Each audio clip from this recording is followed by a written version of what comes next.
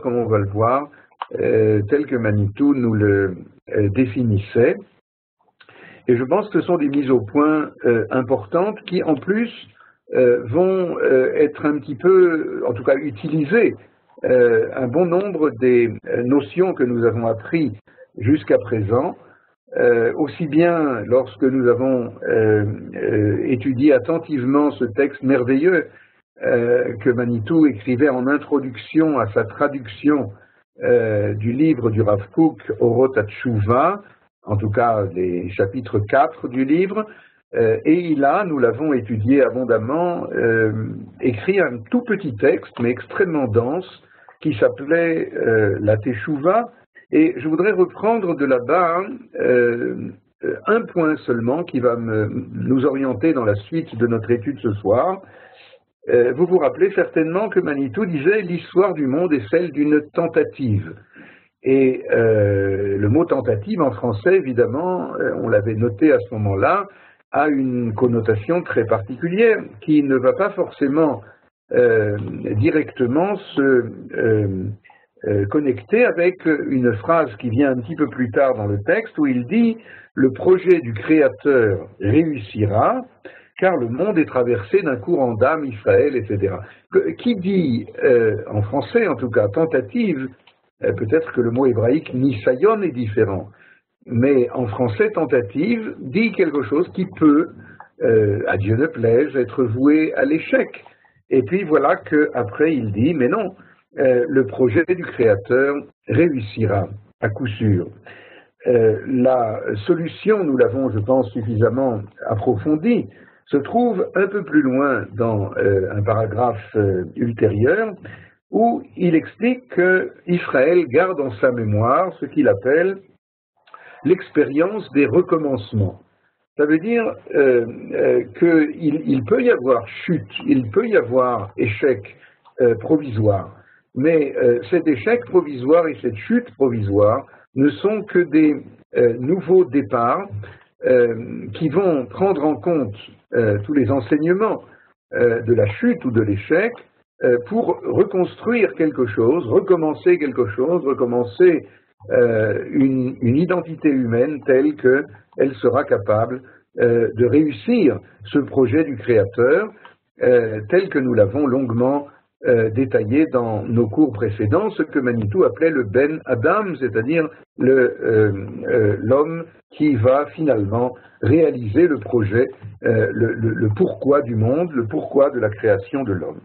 Alors, ça c'est la première chose que je voulais euh, rappeler dans ce petit récapitulatif introductif, euh, à savoir euh, cette capacité de l'homme Israël de apprendre les leçons de l'histoire et de, réussir à partir de là le projet qui est celui du Créateur.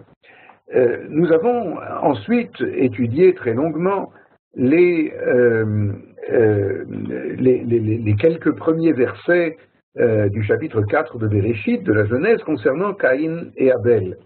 Et là-bas, nous avons trouvé pratiquement à chaque mot, euh, nous avons découvert, Johan, est-ce que j'ai la main maintenant? Est-ce que je peux... Johan? Johan? Bon, alors Johan reviendra, j'espère. encore une seconde. Ah. Voilà, ça va. Euh, donc tu me passes la main, s'il te plaît. Je voudrais commencer avec le texte en hébreu et après en français. Alors, euh, je disais que chez, euh, dans cette étude sur Caïn et Abel, nous avons presque mot à mot découvert des fondements philosophiques, des fondements de foi, des fondements de, concernant l'identité humaine à la première génération biologique de l'humanité, eh bien, nous avons, euh, pour euh, ce qui est notre propos ce soir, euh, découvert à, deux reprises, grâce aux explications de Manitou, combien il y a dans ce texte une critique extrêmement profonde et virulente de ce qui sera hum, quelques-uns des fondements de la théologie chrétienne. En particulier, nous avons vu pourquoi Rachi euh, contrairement à Nachmanide, par exemple, contrairement à d'autres commentateurs, contrairement aussi d'ailleurs euh, euh, au suivi du texte, Rachi va maintenir que la conception et la naissance de Cain et Abel se sont faits après la faute du premier homme et, de, Adam et Ève. Et nous avons appris par cet enseignement de Manitou que la, le, la nécessité exégétique de Rachi était que, eh bien, il voulait se démarquer d'une théologie qui, euh, euh, euh, qui entache l'existence humaine d'une espèce de péché originel, comme si il fallait bien que la, la, conception et la naissance, qu'est-ce que j'ai dit, se sont fait après Non, se sont fait avant, bien entendu, avant la, la faute. Et donc l'homme, conçu et engendré par Adam et Ève, n'est pas entaché d'une façon irrémédiable et originel au sens de la théologie chrétienne, n'est pas entaché de la faute. Et donc c'est ce que Rachid nous dit dans son commentaire, alors que Nachmanide nous dit que, comme l'ordre des versets 3, des chapitres 3 et 4, ah, il y a eu d'abord la faute et après euh, il y a eu la conception et l'engendrement. Mais euh, euh, voilà la première chose que je voulais rappeler maintenant. Car si on dit, et c'est ce qu'explique Manitou dans un texte que je vais vous lire euh, euh, à propos d'autre chose, à propos du messianisme justement, euh, eh bien, si on lit ces événements tels qu'ils semblent être écrits, c'est-à-dire que la faute est, congénitale, comme on dit ça, et est, contemporaine de la conception du premier homme biologique né de et Ève, alors il y a une, une odeur euh, de, péché originel, euh, et, l'homme donc ne, pourra pas vraisemblablement se mesurer euh, par lui-même à, la faute. Il y a ici quelque chose d'extrêmement important, car Manitou nous apprend que tout, le, devenir de l'homme n'est qu'un revenir. Vous vous rappelez, on en a parlé longuement, le devenir est un revenir, à savoir l'homme qui s'est éloigné du projet du Créateur, l'homme qui, de par sa création même, euh, est venu en dehors alors qu'il était en dedans, eh bien, euh, a un projet de revenir, avec lequel il doit se mesurer, et ce projet, nous dit Manitou, réussira, car nous avons la sagesse des recommencements. Une dernière chose que je voulais rappeler, euh, pour ne pas, malgré tout, faire un, récapitulatif qui soit une redite avec tout ce qu'on a appris. Il suffit, n'est-ce pas, Johan, de revoir les cours qui sont enregistrés, bien sûr. Euh, eh bien, une dernière chose, c'était cette expression, je crois que c'était dans le dernier cours que nous avons eu sur, sur Caïn. Euh, là-bas, euh, après avoir tué son frère, il y a tout un dialogue qui s'installe entre Dieu et Caïn, Dieu lui disant, mais tu sais, on peut faire tes chouvas, on peut revenir, on peut corriger, et euh, Caïn de dire euh, Gadol Avoni Mineso. On a vu plusieurs explications à, cette phrase. Trop grande est ma faute pour être supportée. On a vu supportée par toi, Dieu, supportée par moi, euh, comme le dit Rabbi Abraham La punition. Mais je, voudrais me focaliser et terminer par là ce récapitulatif sur ce point que tout met en évidence. Euh, si ma faute est trop grande pour être supportée, c'est-à-dire pour être corrigée, pour, avoir la patience euh, qui amène euh, au mérite moral de la Teshuvah, eh bien, puisque je ne suis pas à même de corriger l'énormité de cette faute, alors prends-la sur toi. Prends-la sur toi, dit Dieu, et euh, on, entend ici des, accents, je sais pas, une musique euh, qui, est, euh, qui fait partie de la théologie chrétienne, où véritablement le péché originel empêche la, la, la, prise à bras le corps de la faute, si vous voulez, et la capacité de se corriger au niveau individuel qu'au niveau collectif dont nous allons parler aussi aujourd'hui. Et euh, c'est la raison pour laquelle eh bien, il y a une opération magique dans la, dans la théologie chrétienne qui dit que euh, c'est euh, Dieu, enfin le Christ, qui prendra sur lui les fautes des hommes, etc., etc.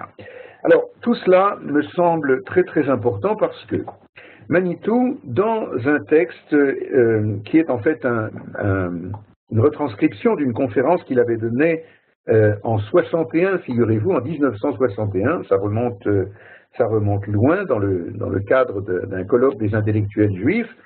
ce texte a été retranscrit dans ce merveilleux livre de Goldman que vous voyez ici et que vous connaissez certainement, qui s'appelle La parole et l'écrit numéro 1, puisqu'il y a deux tomes, et euh, là-bas, page 349, dans un texte qu'il appelle Les conceptions juives du Messie. Manitou commence par éliminer, si je peux dire, ce que n'est pas le Messie d'Israël. Et bien entendu, contrairement à d'autres messianismes existants euh, dans certaines euh, religions, dans certaines professions de foi. Alors, il dira par exemple que euh, il citera cette Gemara, ce, texte du Talmud, du traité Sanhedrin, si je me rappelle bien, qui dit que quand est-ce que viendra le Messie? Johan, tu veux savoir quand est-ce que le Messie viendra? Eh bien, euh, c'est écrit dans le Talmud de Sanhedrin, lorsque la génération sera tout entière coupable ou bien tout entière euh, innocente. Et Manitou dit qu'évidemment, euh, c'est euh, un petit peu désespérant comme formule. Euh, quoi? Alors, c'est tout ou rien, c'est-à-dire quand est-ce que... Alors, il, il explique d'abord dans un premier temps que la formule signifie la chose suivante. Il, il, faut qu'il y ait ce qu'on appelle en hébreu birour, il faut qu'il y ait un éclaircissement de telle sorte que le jugement soit possible.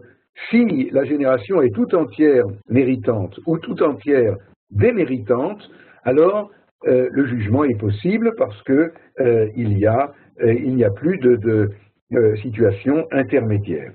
Mais ce n'est qu'une introduction à, ce texte où il va dire que la notion de rédemption, rédemption qui est en général donnée comme synonyme au messianisme euh, euh, chez les nations et probablement même à l'intérieur d'Israël.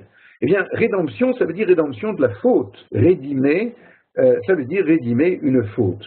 Et Manitou met immédiatement le, doigt sur la difficulté, à savoir que il y a derrière cette idée de rédemption une notion très profonde de culpabilité. le messianisme est entrevu par ceux euh, à l'intérieur d'Israël, mais surtout à l'extérieur d'Israël, qui voit dans le messianisme une rédemption uniquement, eh bien, euh, il s'agit d'une espèce de, comment on dit, capara, euh, une espèce de nettoyage de culpabilité à, l'échelle à l'échelle universelle.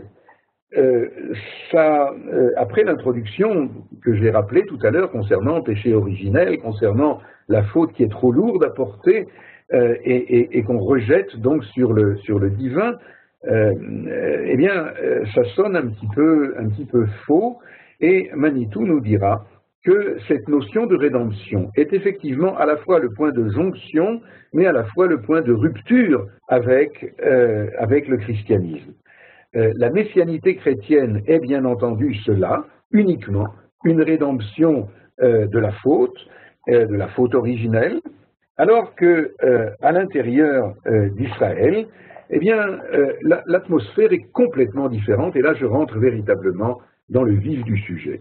L'atmosphère dans la moralité hébraïque est une atmosphère où, bien sûr, la faute existe, elle est grave, elle peut même être très grave, mais l'atmosphère spirituelle qui entoure la faute est une atmosphère qui dit que euh, puisque l'on vit, eh bien, euh, on faute. Euh, la faute est partie inhérente et contingente à l'histoire. L'homme, rappelez-vous de cette expression du premier texte que je citais tout à l'heure, l'homme a pour mission de faire réussir l'histoire, le, projet divin, la création du Fils de l'homme, c'est-à-dire de l'homme qui réussit intégralement le projet de moralité, c'est-à-dire de fraternité, et euh, euh, puisque l'homme a, ce projet de faire réussir l'histoire, nous avons longuement parlé des toladot chez Manitou, des engendrements, eh bien, euh, en chemin, il y a, il y a la faute.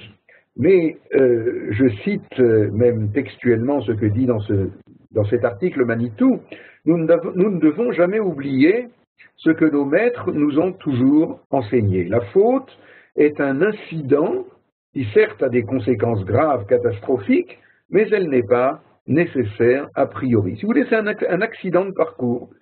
Et euh, en, disant cela, d'ailleurs, je me rappelle d'un texte que vous connaissez certainement du Maharal de Prague. Le Maharal de Prague dit, euh, euh, à propos du verset de David, Herev kabeseni me'avoni, Herev, harbe, beaucoup, kabeseni, kibous, c'est lave-moi de ma faute. Et le Maharal dit, dans son langage à lui, euh, avec les, notions euh, philosophiques du Moyen Âge, il dit, euh, il y a la, faute en Israël, elle est toujours bemicrée, elle est toujours ce que Manitou appelle ici contingente, elle n'est pas be'etzem, elle n'est pas essentielle, elle est un accident de parcours.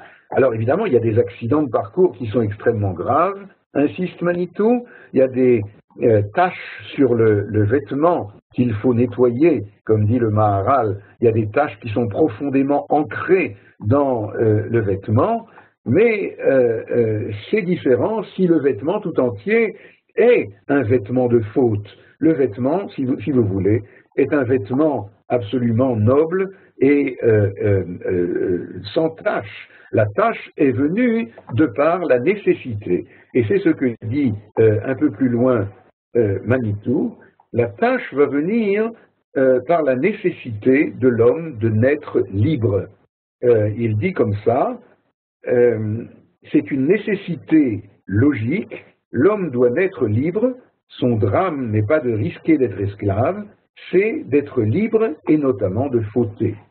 Vous comprenez donc que euh, euh, c'est euh, ce danger de la liberté que Dieu a voulu, qui est à la fois le garant et à la fois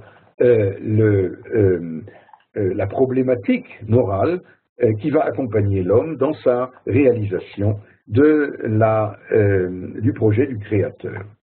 Et pour terminer cette longue introduction, je voudrais encore euh, lire mot à mot un petit texte qui me semble euh, très important ici, dans ce même euh, texte dont je parlais de la parole et l'écrit. Il dit comme ça, la faute n'est qu'un envahissement du contingent dans l'essentiel. Est-ce que c'est clair?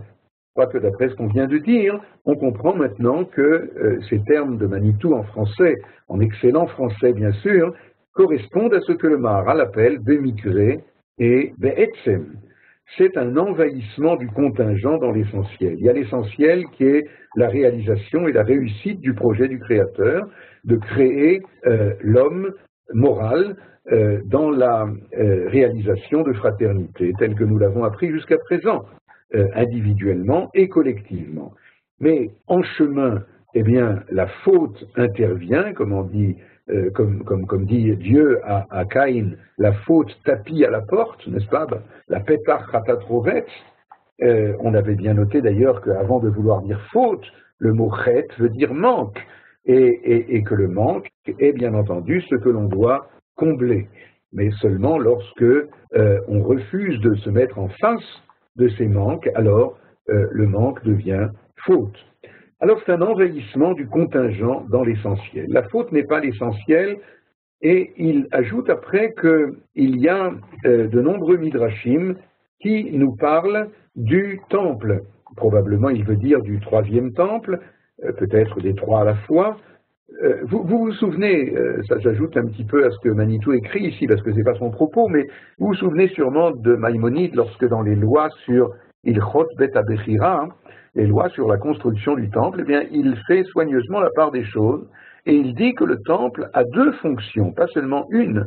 Il y a une fonction euh, rédemptrice, pour reprendre les mots de Manitou, ce sont les corbanotes, les sacrifices, les sacrifices qui viennent expier euh, la faute, pour ramener l'homme au niveau où il était avant la faute, mais il y a aussi euh, une, une, fonction complètement différente qui incombe au temple, euh, qui est attachée au temple, et c'est la fameuse mitzvah de Reia, c'est-à-dire une, fonction d'unifier le peuple, une fonction unitaire.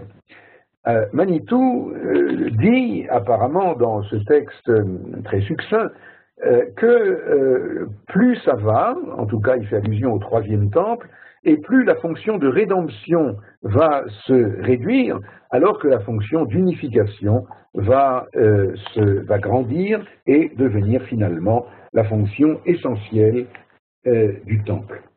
Alors, euh, il donne encore, et c'est par là que je terminerai cette seconde introduction, il donne encore un petit éclairage important sur ce que les kabbalistes appellent Shevirat Akelim, la brisure des vases, ou euh, quelle que soit la traduction, euh, l'éclatement des vases.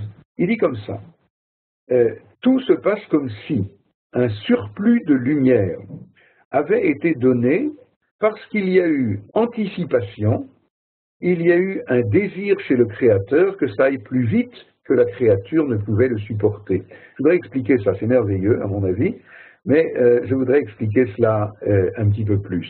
On a l'habitude de voir dans cette notion de Shvirat Akelim euh, une euh, dimension euh, absolument dramatique, catastrophique, liée avec la chute de la créature.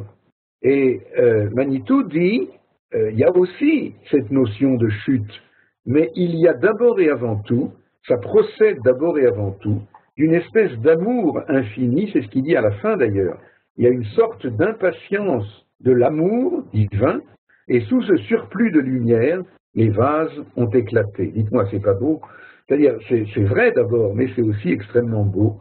Ça veut dire que euh, Dieu a euh, voulu euh, que, le monde réussisse, pour ainsi dire, rapidement. Et, et le monde, lui, avait besoin de, comment dire, de temps pour le réaliser. Alors il y a eu la brisure des vases, et il continue dans le paragraphe suivant, je vous le lis mot à mot, la première œuvre de l'homme, telle que les kabbalistes l'ont définie, c'est son action en tant qu'héritier de la responsabilité de l'histoire. Ce n'est pas la rédemption, au sens qu'on l'a défini tout à l'heure, mais c'est le tikkun, c'est-à-dire la mise en ordre, la réintégration de toutes les valeurs éparpillées lors de l'éclatement des vases. Est-ce que c'est clair? Alors, ce sont des choses très, très élevées. On va, on va bientôt redescendre un petit peu à des considérations euh, peut-être un peu plus terre à terre, mais euh, je crois que c'est euh, dit d'une façon fantastique qu'il y a dans l'atmosphère qui accompagne la personnalité morale, le perfectionnement moral chez l'homme hébreu, euh, dans la perspective que Manitou nous enseigne, il y a une atmosphère d'amour, il y a une atmosphère de, euh, patience infinie euh, qui, vient de l'impatience de, de, vouloir voir la réussite du monde tel que le Créateur l'a créé.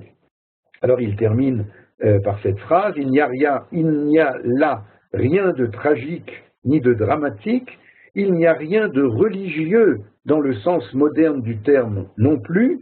Je suppose qu'il veut dire dans le sens de la rédemption dont on parlait tout à l'heure, qui fait plus euh, allusion aux religions en général et à la religion chrétienne en particulier. C'est une œuvre, un travail. Et pendant que cette œuvre se fait, il y a des fautes qui sont commises, d'où la nécessité de la rédemption. Comprenez donc que la rédemption n'est que euh, un processus qui va accompagner le véritable messianisme d'Israël pour revenir à lui. Et nous allons maintenant voir un texte qui va nous parler justement euh, de ce que Manitou appelait le messianisme du soir et le messianisme du matin, euh, dans un texte qui semble tout à fait, euh, comme je disais, terre à terre, enfin, en tout cas lié avec les lois, les halachot de la tefila. Donc je résume ce que nous avons appris jusqu'à présent.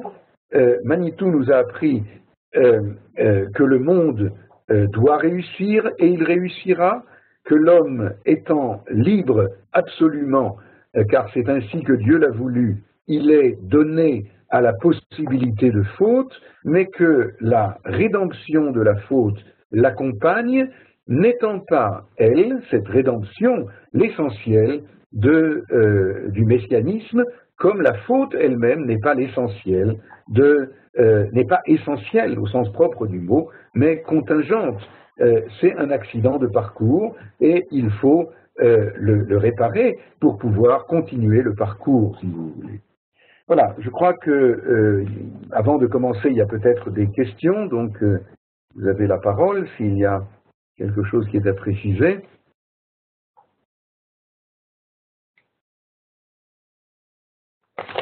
Non, tout est clair. Bon, ben, on doit remercier Manitou alors d'avoir euh, éclairci les choses. Euh, justement, je vais parler maintenant du clair-obscur. Enfin, c'est ce que euh, Manitou va nous apprendre à propos de ce texte que vous avez maintenant sous les yeux.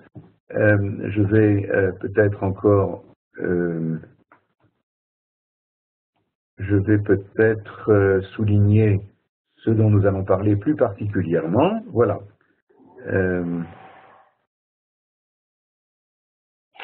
voilà, on va prendre euh, la première question de la Mishnah. On ne va pas voir tout le texte. C'est une Mishnah très connue, c'est la première Mishnah du premier traité du Talmud.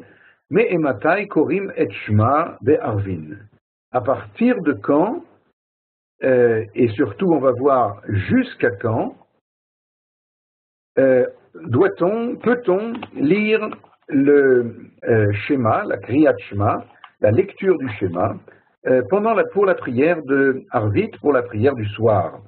Laissons de côté la première opinion de Rabbi Eliezer, nous allons nous euh, référer seulement aux deux opinions suivantes, l'opinion des Chachamim, des sages, et puis l'opinion de Rabban Gamliel. Alors, très rapidement, pour arriver à l'essentiel, euh, le texte nous dit que les sages ont dit qu'on peut euh, prononcer le schéma du soir à jusqu'à euh, la moitié de la nuit, jusqu'à minuit, et puis Rabban Gabriel dit non, on peut aller encore plus loin,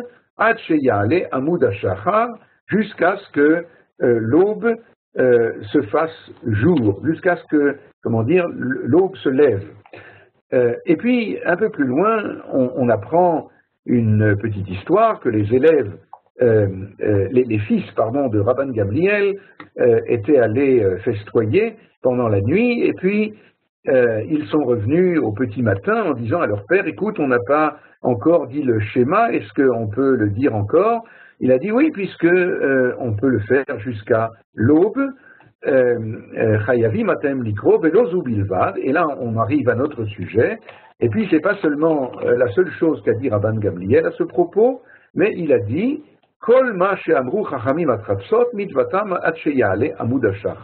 tout ce que les sages, tout ce à propos de quoi les sages ont dit jusqu'à minuit, en fait on a le droit jusqu'à l'aube, mais imken, mais alors si c'est ainsi, Lama Amru Chachamim pourquoi est-ce qu'ils ont dit jusqu'à minuit, puisque c'est permis jusqu'à l'aube, que dès la Adam Minavera, afin de éloigner l'homme de la transgression.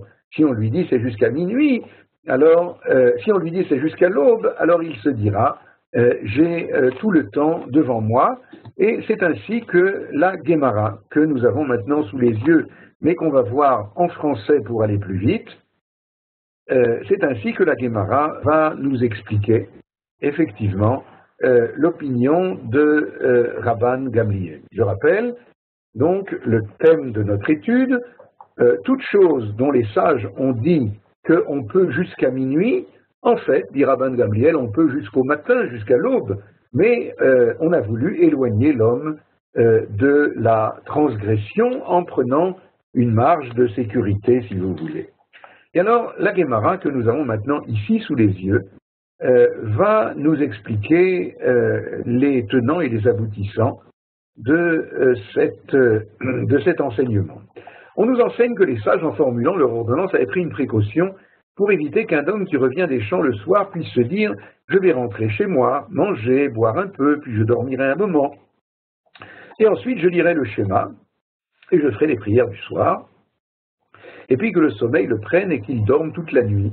Voilà donc euh, le détail de ce que nous disions dans la Mishnah, que l'homme risque de euh, dépasser euh, le temps permis Et donc, on a avancé le temps jusqu'à minuit, jusqu'à Khatsot. Aussi, les sages disent, un homme qui revient des champs le soir doit entrer à la synagogue, s'il est accoutumé à lire la Torah, qu'il lise, s'il est accoutumé à étudier, qu'il étudie, et ensuite qu'il récite le schéma et qu'il prie. Alors il mangera et récitera la bénédiction qui suit le repas du soir, et euh, euh, on va s'arrêter là. Alors maintenant commence dans la Gemara toute une euh, étude concernant l'ordre du schéma et de la de Hamida. Vous savez aussi bien que moi que la Hamida, c'est le Shmona Esrei, les 18 bénédictions qu'on dit debout, et dans le langage talmudique, euh, la Hamida, c'est la Tfila, l'essentiel de la Tefila, le cœur de la Tefila, c'est la Hamida qu'on dit debout, mais elle est précédée, aussi bien le matin Shacharit que le soir Arvit, elle est précédée de la lecture du schéma, car on doit passer de la Torah à la prière, de l'étude de la Torah à la prière. Eh bien, Manitou va nous apprendre euh, un petit peu les clés de lecture du texte qui va suivre. Le texte qui va suivre va mettre en, euh, euh, va mettre en évidence une controverse entre Rabbi Yochanan et Rabbi Yoshua ben Levi.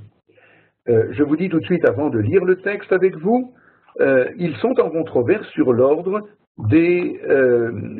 sur l'ordre du schéma et de euh, la Hamida pour la prière du soir, pour Arvit. Euh, euh, je vais peut-être vous montrer le petit dessin que je me suis fait ici. Je ne sais pas si on va le voir, j'espère. Voilà. bon, c'est pas très formidable. Alors, si vous voulez, il y a, Rabbi Yochanan ici, et puis il y a Rabbi Yoshua ben Levi de l'autre côté. Il y a la prière de euh, voilà, je vais enlever le doigt parce que bon. Euh, il y a la prière de euh, Shacharit avant, et là vous voyez que le schéma précède la Hamida aussi bien chez Rabbi Yochanan que chez Rabbi Yoshua ben Levi, d'abord le schéma et ensuite la Hamida, mais la controverse entre les deux, c'est pour la prière de Harvit, pour la prière du soir. Et euh, alors que Rabbi Yochanan dit d'abord Shema et après Amida, comme le matin, Rabbi Yoshua ben Levi, lui, dit que la Amida doit précéder le Shema dans la prière du soir.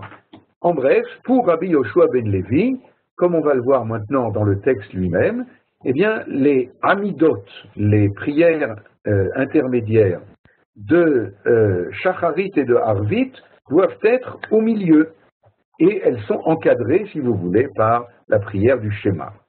Alors on lit ça très rapidement euh, ensemble maintenant, euh, à partir de là, ce qu'on vient d'affirmer, à savoir qu'on doit réciter le schéma puis faire la prière du soir, va dans le sens de ce que disait Rabbi Yochanan, qui est assuré d'avoir part, qui est assuré d'avoir part au monde, à venir, disait-il.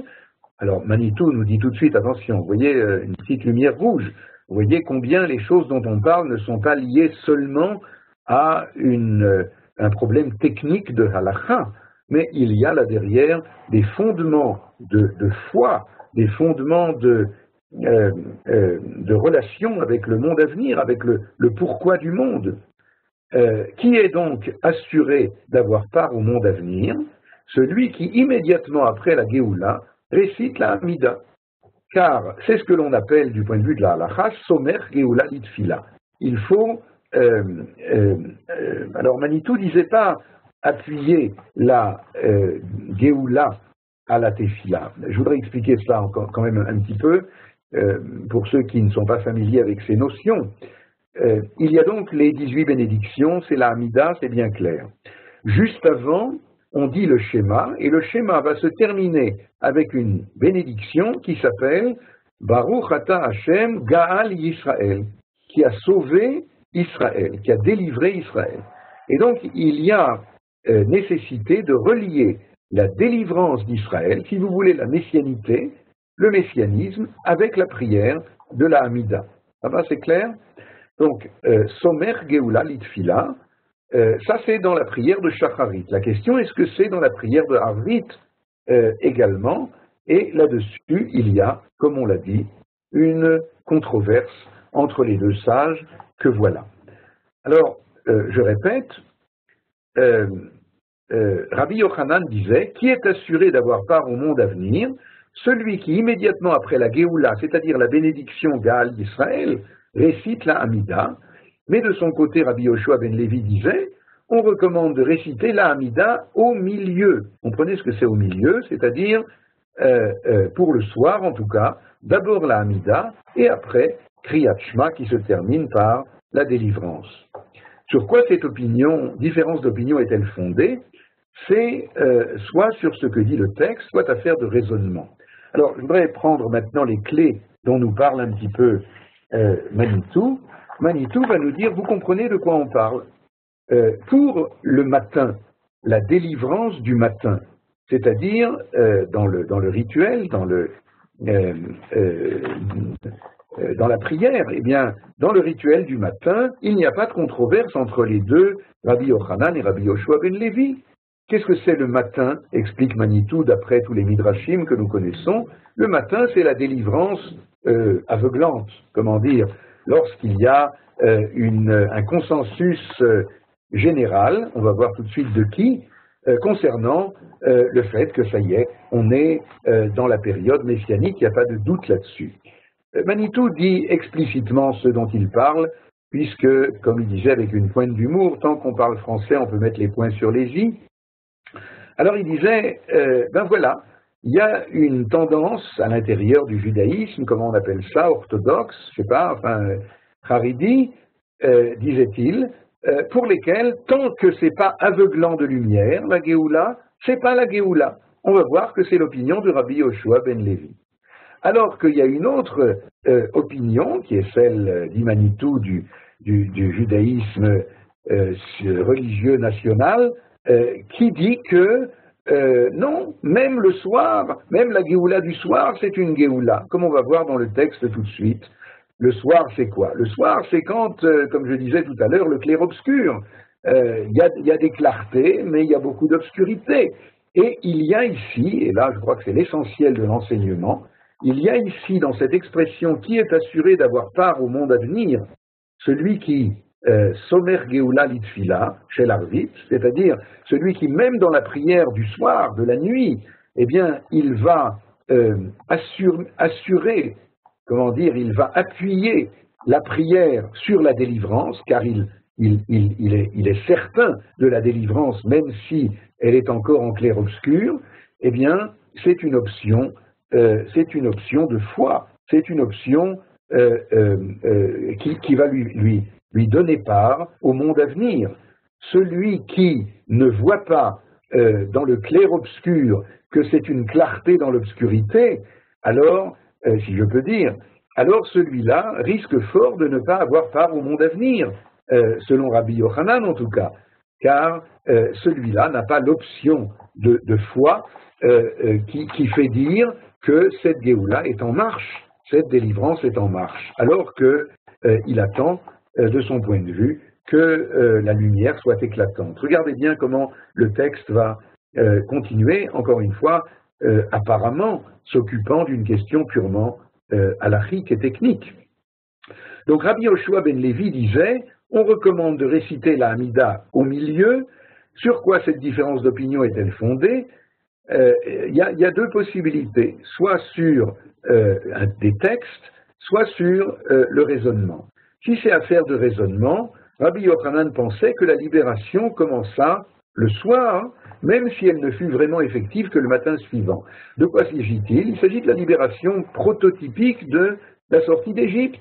Lorsqu'on est sorti d'Égypte, comme vous le savez, on est sorti le matin, mais le soir déjà, euh, euh, l'esclavage, euh, le joug de égyptien avait été brisé, le peuple était déjà euh, autonome, était déjà libre et se préparait à sa propre libération. Alors c'est vrai que euh, euh, le soir, eh bien, peut-être on va voir quand même l'expression en hébreu, elle est importante, si je la retrouve facilement.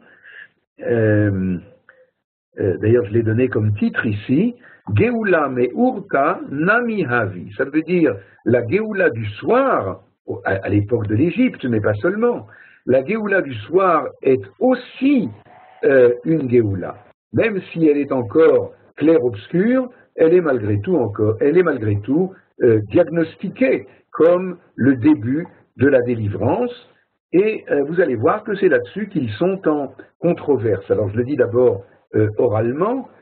Tout le monde est d'accord que le soir, c'est le début de la délivrance. Tout le monde est d'accord que la période que nous vivons, Manitou a donné ses enseignements, d'après mes calculs, quelque part il y a euh, une quarantaine d'années.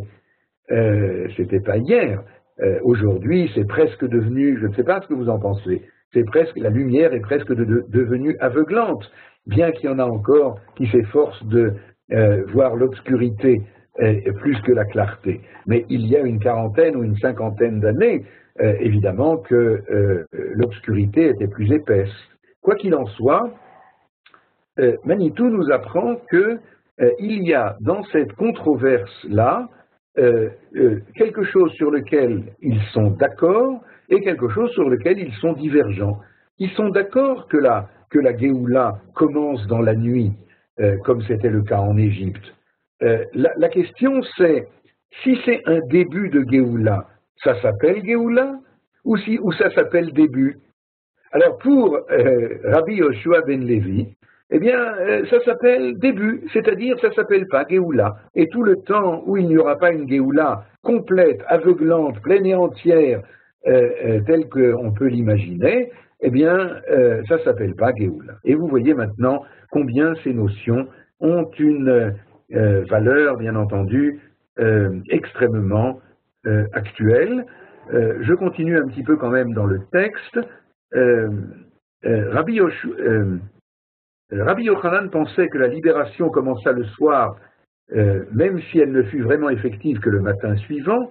Rabbi Yoshua ben Levi, au contraire, pensait, puisque la libération ne fut effective que le matin, la prière pour la libération importe peu dans le service du soir.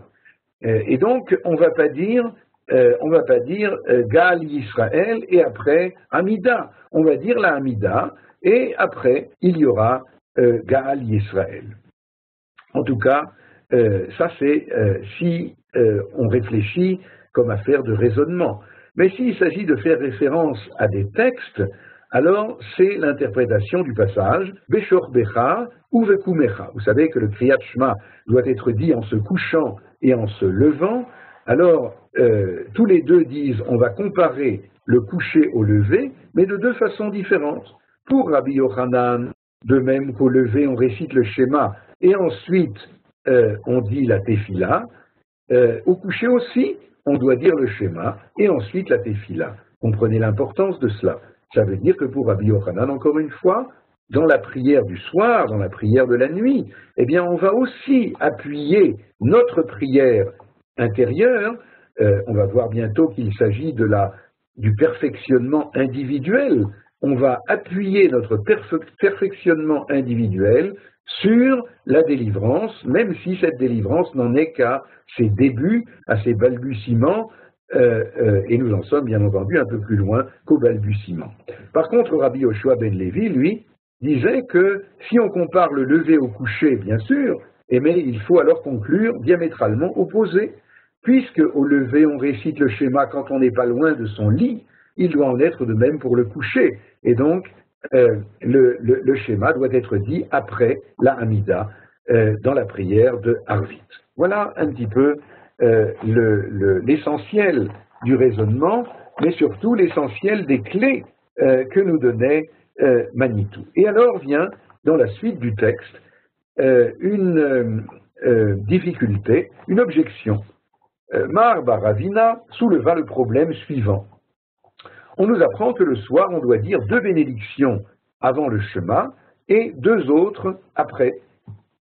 Effectivement, il y a euh, dans, le, schéma du soir, il y a deux bénédictions qui viennent après. Il n'y a pas seulement Gaal d'Israël dont on a déjà longuement parlé, mais il y a aussi Hashkivenu.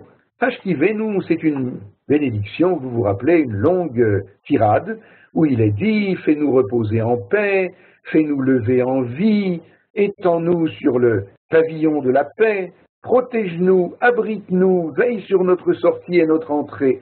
Alors toute cette bénédiction-là, bien sûr, c'est une objection, car si elle est intercalée entre Gal Israël et la Hamida, eh bien, il y a une interruption. Et donc, Mar Baravina dit, puisque dans la bénédiction du soir, dans la Kriyat du soir, il y a Hashkivenu, alors tu vois bien qu'on ne peut pas, euh, il y a une, interférence, il n'y a pas immédiatement une, euh, un appui de la prière sur la, euh, de l'Amida, sur la Kriyat et sur la délivrance. Vous voyez, c'est clair? Je m'explique suffisamment? Eh bien, la réponse va être que Ashkivenu, c'est Geoula Arichta. C'est une prolongation de la Geoula. Et euh, Manitou expliquait, il y a d'ailleurs un texte du Rav Kook euh, dans le Olatreya qui parle de cela, euh, à propos de c'est que, c'est que Ashkivenu, c'est un, un, supplément nécessaire la nuit. Comme on l'a dit, la nuit, la, délivrance de la nuit, c'est pas comme la délivrance du jour, évidemment. Euh, le jour, la délivrance du jour, tout le monde voit et tout le monde verra. Je vous rappelle que euh, euh, nous disons dans la, dans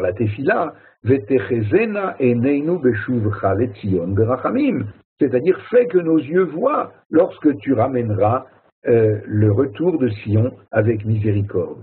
Ça veut bien dire que lorsque le retour se fait, il y en a qui voient et il y en a qui ne voient pas. C'est une délivrance de la nuit d'abord.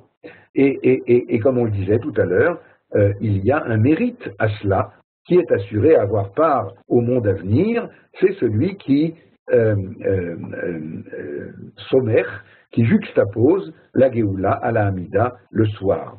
Eh bien, Ashkivenu, c'était une objection qui a été donnée par Mar Baravina, disant, puisqu'il y a une nouvelle bénédiction qui s'appelle Ashkivenu entre le schéma et la alors tu vois bien qu'il ne peut pas y avoir juxtaposition. La réponse, c'est que c'est une prolongation de la Géoula dans quel sens? Dans cette période qui s'appelle clair-obscur de la Géoula, c'est sans aucun doute la Géoula, dit Rabbi Yochanan, mais elle est en clair-obscur, on a besoin d'une protection supplémentaire. On a besoin euh, d'une... Euh, on a besoin, expliquera le Rav Kook dans la Treya, on a besoin que sur le plan individuel, on ne soit pas entièrement euh, euh, voué à la délivrance de la, euh, de, la nation, mais on doit aussi garder un temps et garder une attitude de perfectionnement individuel et pas seulement voué entièrement à la nation tout entière. Vous voyez que ces notions, évidemment, sont extrêmement importantes et euh, euh, les, euh, les sages, lorsqu'ils se sont, ils étaient divergents sur ces notions apparemment très techniques de la tefila, en fait avaient en tête les modes de réalisation de la délivrance future. Et je crois que c'est sur, ce, sur ces points-là que j'aimerais euh, terminer euh, notre étude. Euh, dans le Ashkivenu, vous pouvez remarquer aussi d'ailleurs qu'il est dit.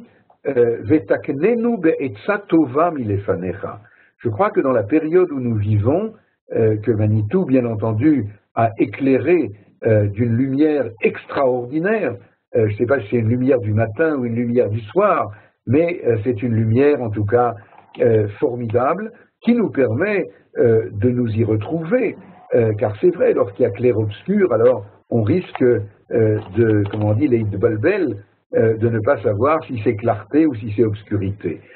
pour Manitou, la clarté dépasse infiniment l'obscurité, et c'est la raison pour laquelle nous prions Dieu dans la prière de Hashkivenu, qui est intermédiaire, qui n'empêche pas Smicha Geoula Litfila, qui est une prolongation de la Geoula, comme le dit euh, le texte de la Gemara.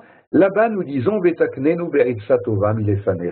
Nous prions Dieu pour que, euh, aussi bien sur le plan individuel, mais peut-être surtout sur le plan de nos dirigeants, sur le plan collectif, sur le plan de, du processus de la délivrance collective du peuple d'Israël et de l'humanité qui est en marche, eh bien, nous prions Dieu pour Vetakenenu, Torah, qu'il donne à nos dirigeants un bon conseil, une bonne, une bonne recommandation euh, qu'ils euh, soient, de leur point de vue, euh, capables de voir la lumière et pas seulement l'obscurité.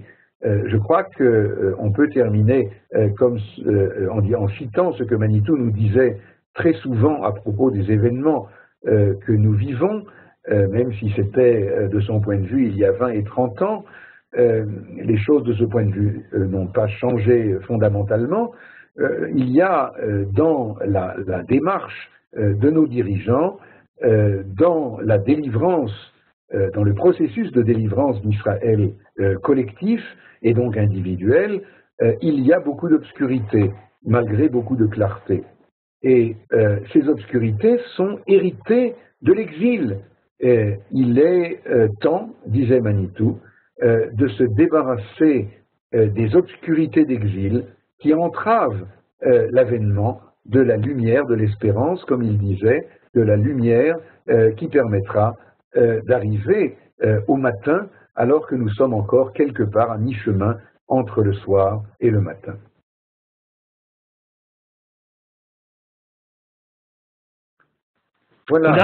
Merci beaucoup, Ravatoun. C'est le moment de pouvoir poser vos questions. Je suis sûr qu'il y en a.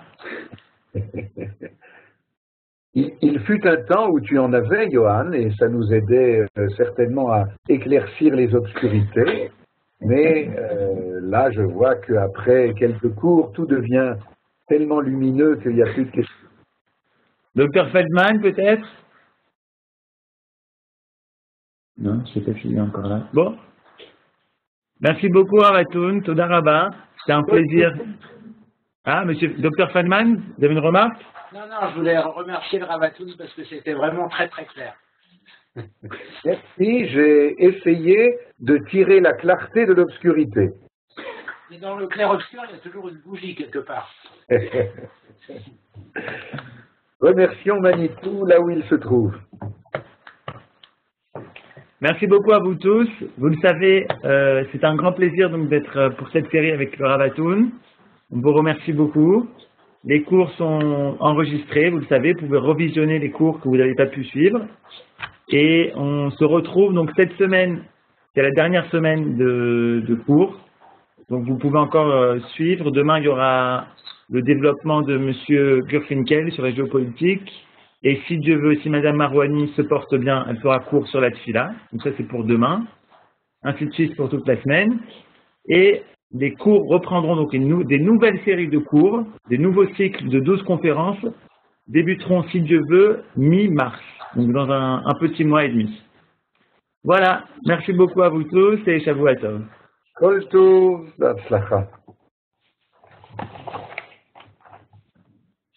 J'étais le seul participant à ces cours. Extraordinaire. Bon, alors madame.